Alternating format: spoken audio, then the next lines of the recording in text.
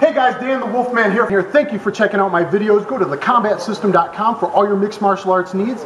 And please subscribe to my YouTube page. Make sure to go to thecombatsystem.com and subscribe to my YouTube page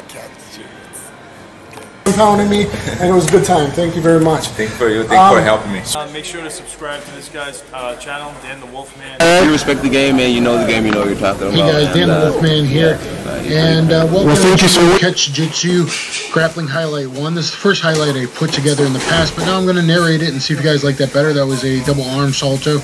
Here's a sit up. Uh, basically sit up escape to the Suzanne Somers or Boss Crusher, if you will, the Thigh Master Boss Crusher. That was at Hayato Sakurai's dojo in Tokyo, Japan. This is at Miwi Gym. This is a young boy. I think, pro fighter training, but I don't know. You know, probably has a few amateur fights, maybe one or two pro fights, maybe. Uh, don't really know for sure. Uh, maybe just an amateur fighter. Um, just a bigger guy in Malaysia. A lot of footage here, guys, in my later. There's definitely more pro fighters in later. I think I got 10 pro fighters in this, um, and a couple very good black belts. Um, but a lot of the footage is also here in Malaysia, where you know I didn't have very good people to go with. My best was a blue belt, sorry, uh, and an amateur MMA fighter. Oh, sorry. So there's a surfboard, Cruci Cruci Plata with a surfboard stretch, and a camel clutch finish. This is a rack stockade. This is at uh, looks like PTT Phuket Top Team in uh, Phuket, Thailand. Rack stockade. Um, neck crank spine lock here. You know, when I'm at gyms, I don't know who's who. A lot of times, uh, guys, this is the catch wrestling key lock, the old catch wrestling key lock, a very good double wrist lock variation. I teach in a lot of videos. Recently, a new video came out by a judoka I've actually rolled with before called New Kimura. No, it's not in, nothing new about it. That's old catch wrestling key lock. Uh, and that looked like that was a cement mixer to a uh, Cobra neck crank there. This guy here is the Mima Heavyweights MMA champion. This was a private lesson we did in a private dojo. Um, he was also a very good purple belt at this time. Around these, this video is like when I was a brown belt. Um, Here, um, looking in the lockdown, no, he's not tapping the lockdown pressure, guys. That is a magic toe, magic armless toe hold. I also put Shinya Aoki in it um, at one time, uh, but I didn't try to tap him because he was cutting weight and fighting at like 145, and I'm way bigger, and that would be just wrong. That would hurt him before a fight. Um, but he also relaxed and went really low, kind of like you would see Renzo uh, do against Danaher's backbreaker back in the day.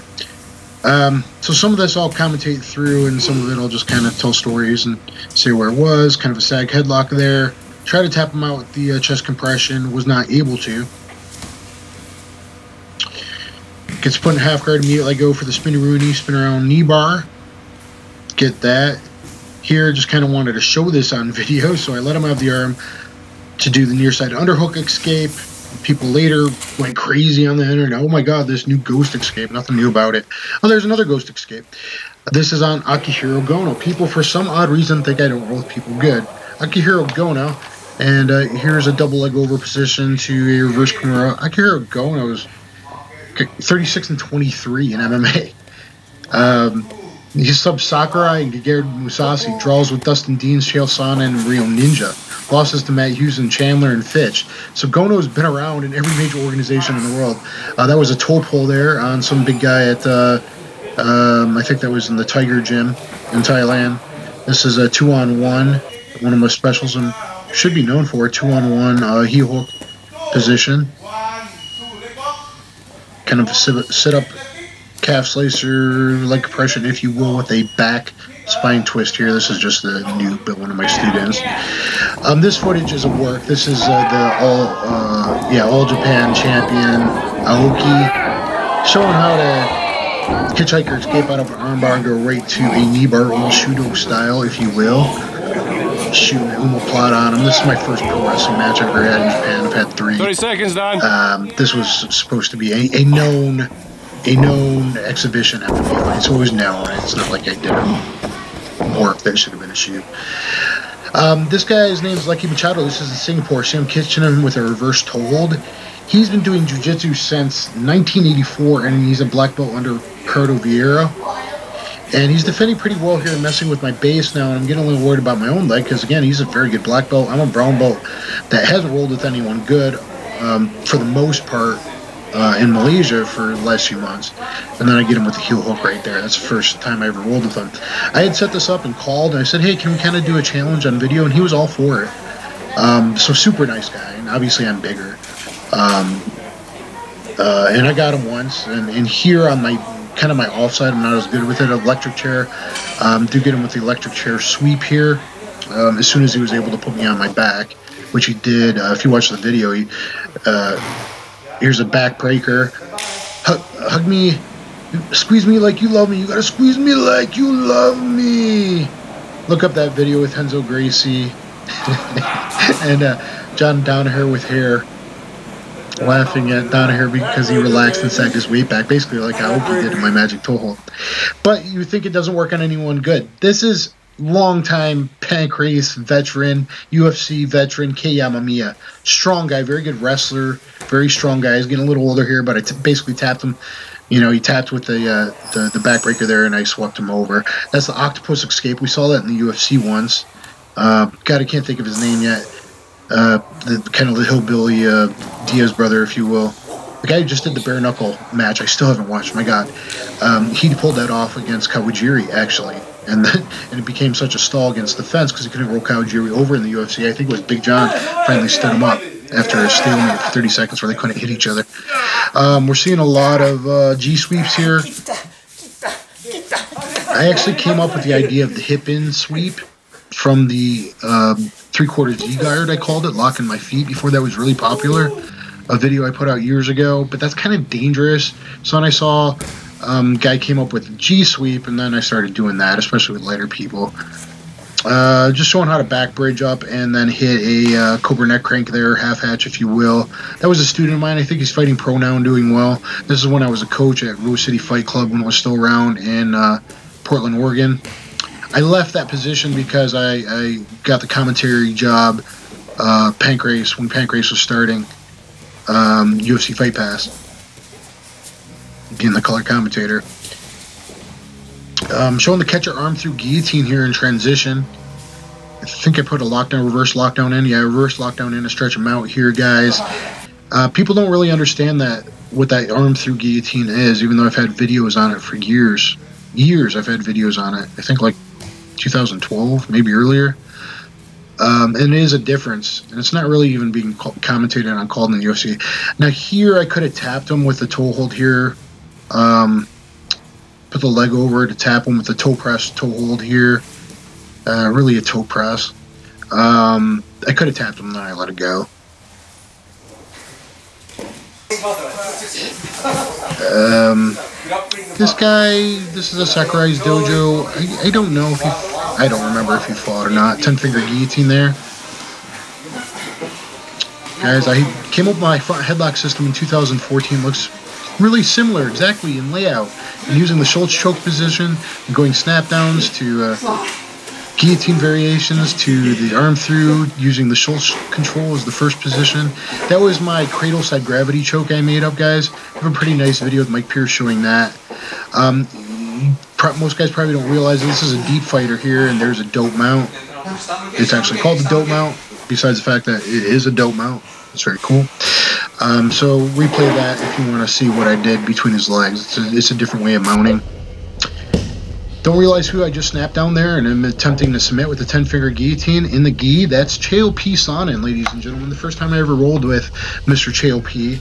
I got a quick hug from him before UFC, before he hopped in a van um, a couple weeks ago. And um, yeah, first time rolling with him. I'm a brown belt, he's a purple belt.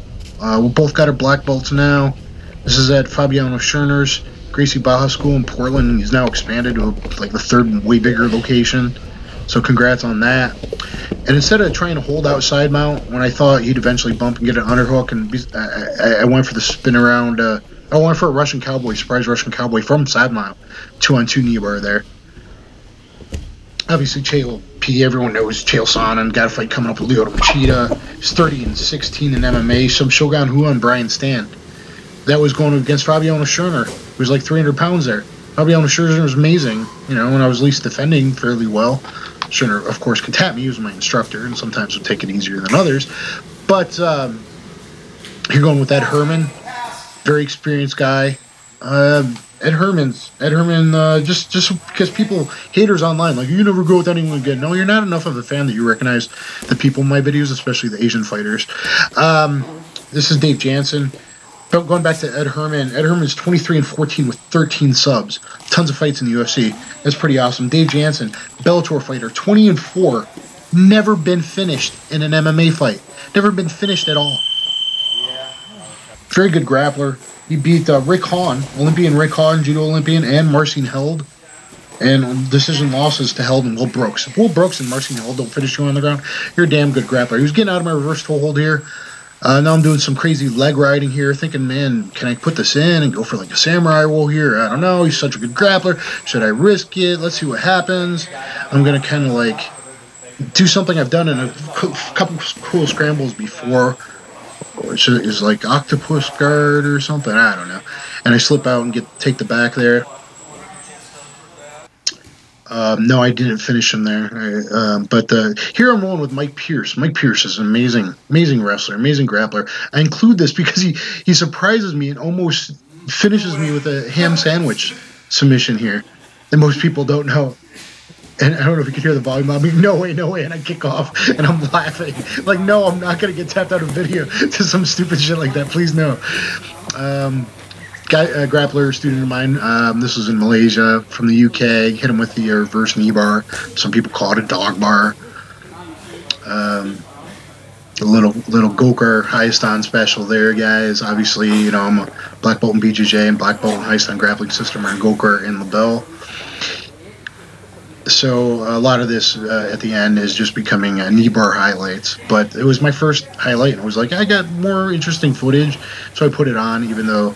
Um, like I said, no, it's not the best people in Malaysia. He was decent, but the other people, yes, I know they're smaller.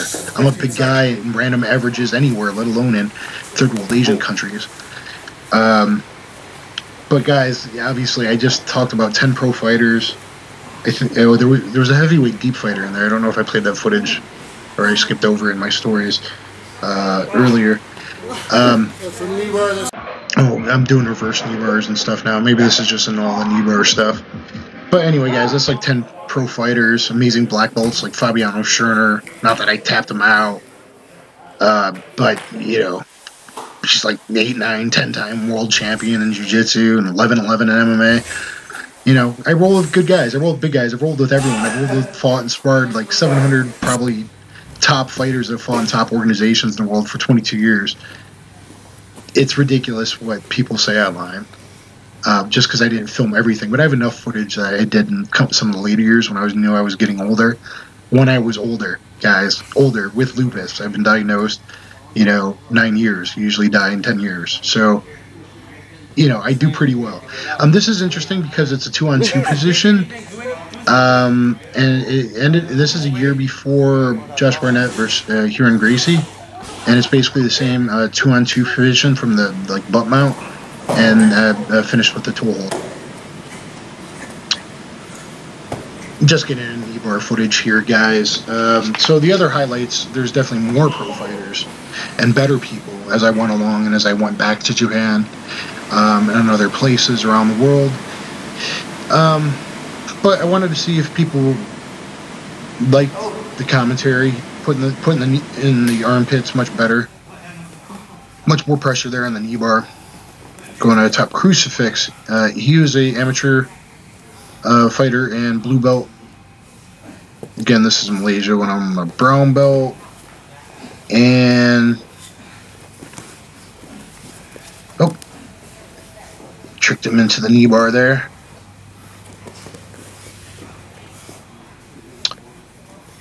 a lot of my students in places like Malaysia and Egypt uh, you, you, have gone on to do real well. Like my best student in Egypt, I think he's nine and zero oh in MMA now. Got a couple students from Malaysia that are doing pretty well in MMA. that I had trained for a bit. Variations on spin around knee bars here and stuff. Mostly forward pivots. These are forward pivots and back pivots. Sometimes I, I usually just kick around the head, but you can also slide the knee, shin, or slide the shin across, as I was psychically knowing what it was going to be next, I guess. Um, yeah, just beginner, skinny students of mine, guys. I know these aren't pros, but I treat everyone kind of the same, and I treat all submissions in a lot of ways kind of the same, because to me, martial arts is about martial arts and self-defense. Um, oh, uh, if they do cross their legs there, guys, that's how you go to a, a leg scissors. Most people know the arm scissors, they don't know the leg scissors. So showing that. Again, like putting in the armpit there, better breakage. Going back to a few times I trained with Oleg Taktarov back in 98, I think it was, 98, 99. I think it was 98. I did two days with Oleg. Then I visited him twice out in LA and we drank afterwards a couple times. We sparred boxing once. I don't know if that was before he fought the uh, Ivan Drago in a real boxing match or not. Um, and he was pretty big at the time. So me, and- me and Oleg Taktarov boxed pretty good ones.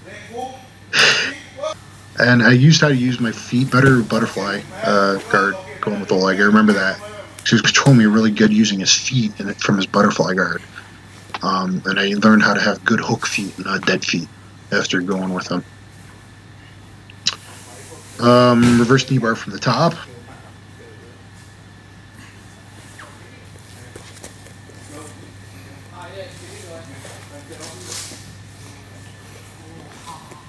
So this was kind of just a lot of footage I had already edited together in my knee bar video, four way, four major ways of setting a knee bar video.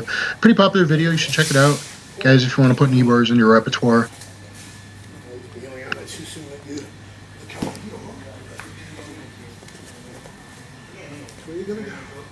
Which way you're gonna roll, and showing how to adjust. Still didn't quite get it. You got to make little adjustments a lot of times, guys, on this. Man, I'm getting really pulley with it. Seen some good attempts, some good attempts on reverse knee bars. Marcin Held in MMA fights. I don't know if he's got. it. I don't think he's got it. He's come close a few times. It came close on. I think it was Will Brooks. Um, twice put him in pain against Cage with the reverse knee bar. Um, if I remember, if I'm remembering correctly, uh, we've, we've seen it done a couple times in U- UFC. Uh, I think seen it done in tough in the tough house at least once that I can remember but uh, maybe not in UFC, but in MMA. I've seen it a few times, I think. Um, and this is just kind of, you know, sometimes I put out stuff more for my YouTube people's benefit, just kind of so they see different positions. That's how I look at things. Is a lot of times just feeling out different.